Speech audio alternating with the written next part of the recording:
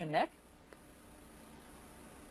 I think Montenegro never really thought of itself as being kind of the epicenter of World War III, certainly not in the mind of the US commander-in-chief. And there's some degree of, I think, people trying to laugh it off here, uh, but also a deep concern because the kind of the throes of Russia, its distant neighbour, and its desire to become part of the European Union and only joined NATO last year really strike at the heart of this country's identity. At the moment, the coastline, patches of it are owned by rich Russians, and it's in the middle of tourist season, so as far from aggression you could possibly imagine. The only sound I'm hearing is uh, crickets in the bushes. But Montenegro's government, trying to strike a delicate balance here, have released their first statement after some kind of uh, studied silence, talking about their role for peace and stability in the region, about how at this point people value freedom and democracy most as enduring ideas, and more importantly, how they think there's sort of a permanent nature of, of solidity in their in their relationship with the United States. So a country that's had a very difficult path, path path into NATO, though.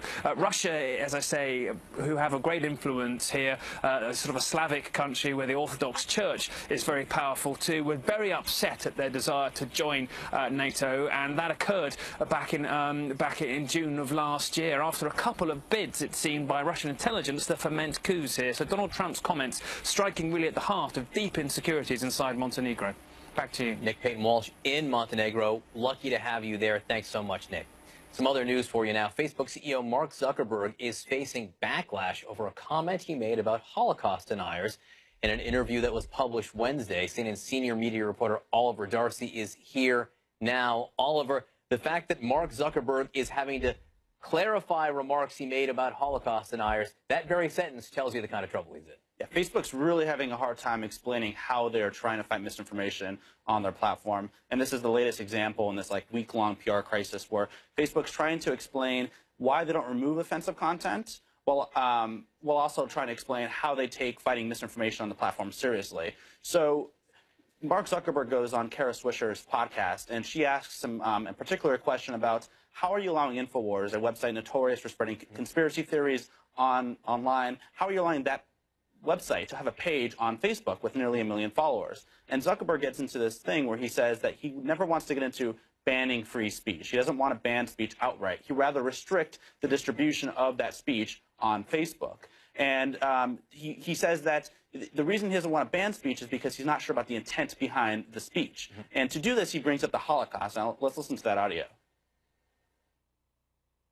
there's a set of people who uh, deny that the Holocaust happened, yes, right? I find that deeply offensive. Mm-hmm. But at the end of the day, I, I don't believe that our platform should take that down because I think that there are things that different people get wrong.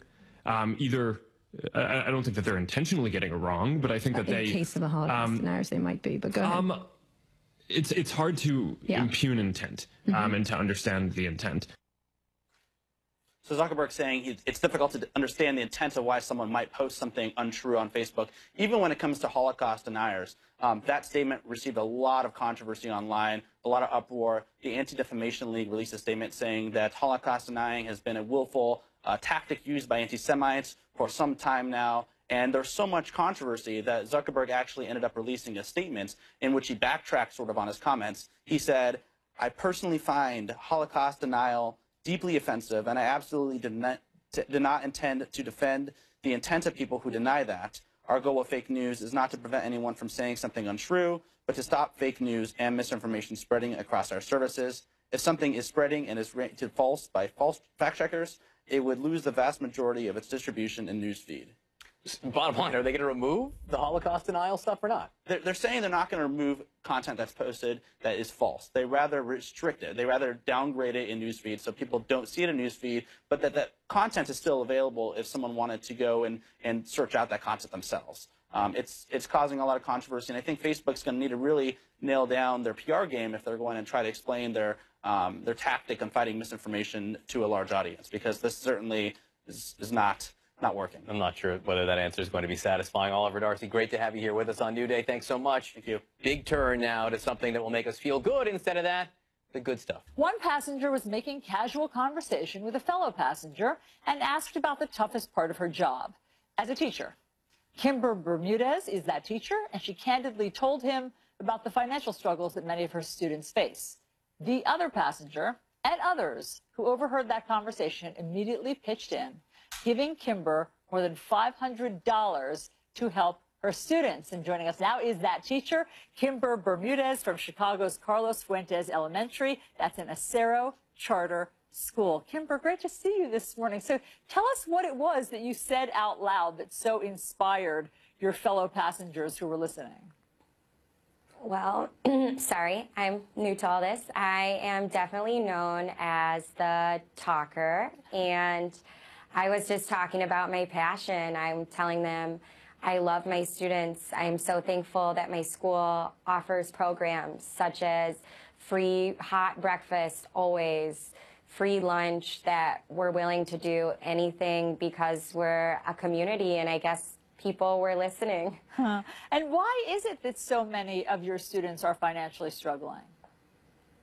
Um, their parents really do their best and work the hardest that they can and will, will do anything for their child. But we do have a large population that are immigrants. We um, have students that came after Puerto Rico. We have, um, after the natural disaster, we have students that have longtime families from Chicago. But it's just people that are working really hard and um, that just want the best for their child. And that's part of the reason they send them to our school.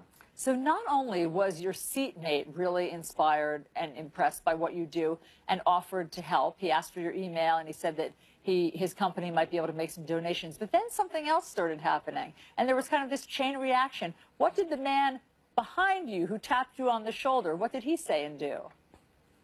So he tapped me, and I, I thought it was because he was worried about his baby kicking me or something, and I had already told him not to worry about it. And he said, I apologize for listening, and um, handed me a wad of cash and I had no idea how much money was there, but I saw a $100 bill on top. My parents had taught me don't count money in front of people, that's rude. So I would find out later it's $500 and he started this chain reaction. The plane landed, the man across the aisle said, I don't have much, but I hope this helps. And then the man in front of me and I'm just still beyond baffled. oh my gosh. And the man who gave you $500 said, quote, do something amazing. And so what are you going to do with your sudden windfall of cash? Well, I really want to get books for both Spanish and English for my class. And then I'm also hoping that this sparks something, some good in people and that maybe my school could possibly get a playground or help with after school funding. But for now, what I'm going to do is I want Spanish and English books so parents can be a community and read to their children in their native language. What did your school administrators say when you came back with cold hard cash in your pocket? I, I, think uh, Mrs. Tanner was a little bit uh, shocked, and I kind of told her what happened, and we had no idea but she told me uh, I'm a talker. If this would happen to anyone, it wasn't. She wasn't surprised that it was me. And so, what does this so tell you, Kimber? I mean, what does this tell you? We're living obviously in a time when there's lots of tension and animosity. And so, what does your experience on this plane tell you about people? There are amazing people, and that children are the future. And I think when people hear about children struggling or people that really want to make a better life, it it warms their heart. And so I will never look at a stranger again. And this shows me there are kind people in this world. And even when things seem crazy, we truly do care about each other. Well, it's a beautiful message. Thank you so much for sharing it with us. And we hope that your kids can get that playground. And we're so happy that they're going to be able to get their books. Thanks so much, Kimber Bermudez, for sharing your story with Thank us. Thank you for having me. what a wonderful life affirming moment. People are good. People are still You keep good. telling me that. I know. You keep telling me that. And you show me these things these to prove examples. it. I know. Show me Someday more. Show me more, and it will crack. Berman. It will crack. Oh, that was so wonderful. Time now for CNN Newsroom and more wonderfulness with Poppy Harlow. Gotta love that. All right, good morning, everyone. I'm Poppy Harlow in New York. I'm so glad you're with me this morning, and it is a busy one. The post-Helsinki clarification campaign at the White House continues. But clarity this morning, no, we don't really have that. To bring you up to speed, President Trump says in a new interview that he accepts that Russian agents did interfere in the election and that he would hold Vladimir Putin personally responsible. He further claims he gave the Russian president a very strong warning not to interfere again. But that can't be checked because well, no one was in the meeting except for translators. And that's now a problem for the Pentagon, which is scrambling to figure out this morning what, if anything, the president actually committed to on the military front because Russian officials now say there were, quote, verbal agreements between Putin and Trump, agreements that U.S. officials know nothing about. And that's a very big deal.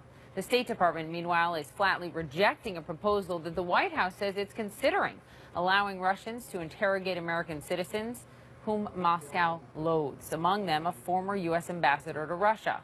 Even now, the president tells CBS News he doesn't know, quote, what all the fuss is about from his one-on-one summit with Vladimir Putin and the post-summit news conference.